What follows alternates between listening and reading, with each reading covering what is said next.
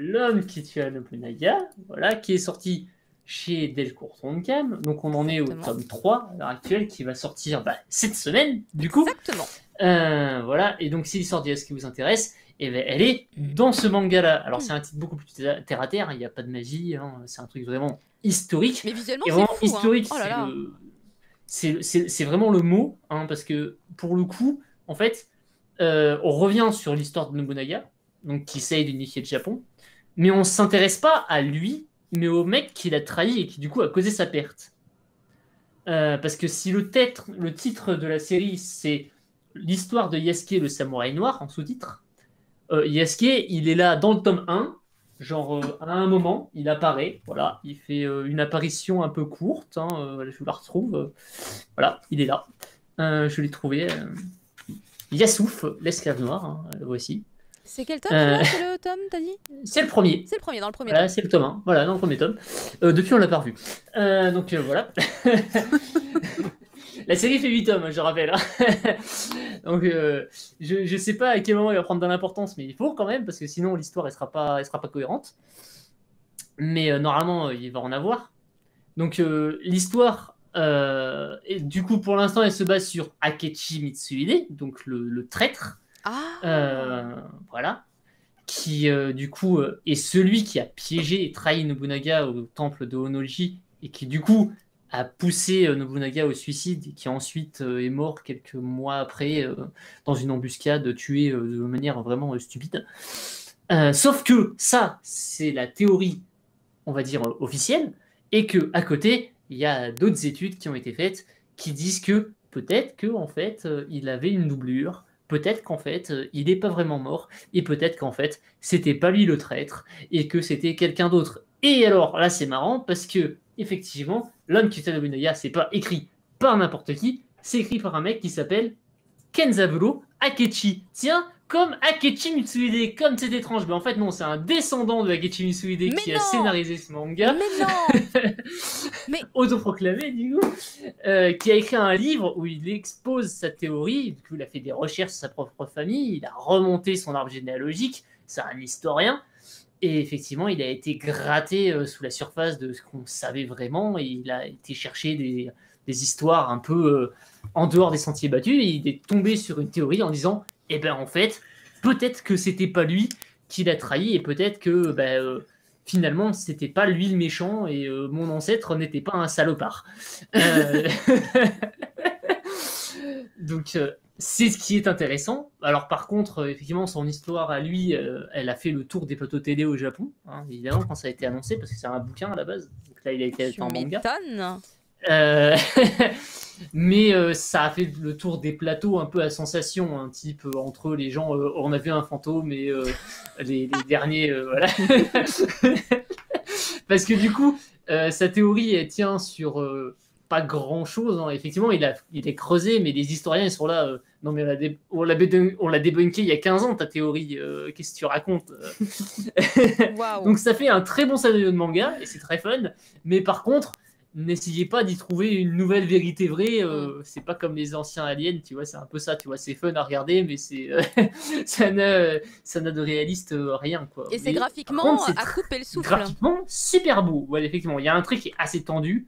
C'est marqué, il y a des visages très tirés. Hein. Les mm. samouraïs, on sent qu'ils ont ils ont vécu, ils ont vu la guerre quoi. Hein. Là, pour le coup, c'est l'expression quoi. Hein ça met en avant la, dureté de leur, visage. Ils, font des choses horribles, ils ont vu des choses horribles, ça se voit. Voilà. ils, tuent euh, beaucoup de gens à la guerre, hein. et, pas que les méchants, hein, parce que pour le coup, il y a vraiment des trucs atroces qui sont faits à des gens qui n'ont rien demandé en cette série. Hein. Tu apprends des trucs, tu es là, mais c'est immonde, mais vous êtes dégueulasse la guerre. C'est ça. À base de. Alors lui, c'est le fils du machin, il a 10 ans, on va le décapiter. Ouais. ouais. ah ouais, Et sympa la vie. comme ça. Ah ouais, ouais. Puis euh, dans le genre euh, bien sale aussi, euh, ah la ville de machin, on va y mettre le feu. Il y a des gens dedans, c'est pas grave. les enfants, les femmes, non, c'est pas grave, on s'en fout, on les crame tous. Ok. Bah, en même temps, on va les empaler, on va les, on va les exposer, on va les décapiter, on va exposer les corps sur des croix et comme ça, on va faire peur à l'ennemi. Ok, ah ouais, non mais ça... Ouf. Ah, de ce côté-là, pour le coup, euh, c'est euh, d'un point de vue graphique, euh, c'est quand même assez tendu. Hein. Là, si vous lisez le Tigre des Neiges à côté, vous verrez, ça n'a rien à voir. Hein. Il vous montre pas les trucs sales. Hein. Et d'ailleurs, c'est marrant parce que dans le tome 3, le Tigre des Neiges, il est là. Hein, parce que du coup, c'est un vrai personnage historique, il faut le rappeler. Et euh, du coup, Uchi Kenshin fait une apparition dans le tome 3 et il affronte Nobunaga euh, dans ce tome-là. Si jamais euh, vous, vous, lisez la série et si vous êtes passionné par le Japon et par l'histoire médiévale du Japon et de comment ce pays s'est formé dans son, on va dire, dans son entité actuelle, et eh ben ça vaut le coup d'être lu, d'autant que le dessin est très propre. Ça ne dure que 8 tomes, donc pourquoi pas hein. Après, effectivement, il ne faut pas oublier que c'est un essai à la base, mm. donc ce n'est pas une vérité établie. il faut pas, le prendre mais c'est une euh, théorie qui est super intéressante. Mm. Et euh, pour le coup, ça fait un très bon manga, c'est divertissant. Euh, par contre, c'est très verbeux. Hein. Il y a vraiment beaucoup de points d'explication, de, de, détails qui sont. C'est vraiment très documenté de ce côté-là. Hein. Pour le coup, le mec, il a vraiment poussé son truc à bout. Mais si on est répar... si on est barbé par le fait qu'il y ait beaucoup d'explications ou de dialogues, qui sont parfois vraiment très longs à base de euh, oui, machin, de machin, un seigneur de machin a attaqué machin avec machin. T'es là, euh, oui, euh, c'est genre des anneaux là que je regarde ou c'est un manga? Est-ce que c'est moi la généalogie et pas besoin de la connaître? Tapez-vous dessus. Mais sinon, hormis ça, franchement, c'est un très bon titre. Ça vaut la peine d'être lu. L'homme qui tue Nobunaga. C'est beau, hein, C'est juste pour les dessins. super hein, beau. Le dessin est magnifique. Oh la vache. Ouais, il y a des illustrations, j'étais obligée de, de, les mettre. Tu vois, quand on, ton cam, ah euh, Delcourt m'a envoyé les trucs, j'ai fait alors lui, je le mets. lui, je le mets.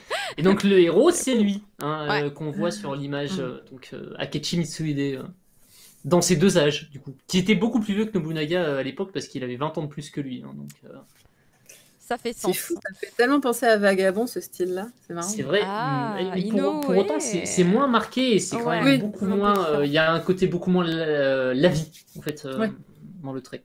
Mm. Mais le dessin est magnifique. Hein. En tout cas, merci pour euh, cette euh, découverte, parce que pour moi, c'est une vraie découverte. Euh, je connaissais évidemment, d'un point de vue historique, Nobunaga et tout ce qui va avec, mais enfin, non, pas tout.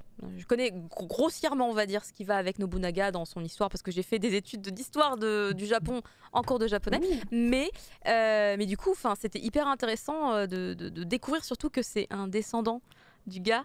Vraiment, ça, ça m'a. C'est le, twist de ta présentation. Tu vois, il y avait un twist dans ta présentation, c'était ça. C'était vous ne le saviez pas, mais euh, du coup, ça c'était vraiment fou.